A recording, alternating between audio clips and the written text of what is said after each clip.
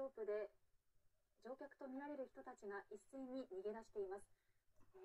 急いで逃げ出している様子が確認できます。乗客とみられる方たちが機体から離れて逃げ出している様子が確認できます。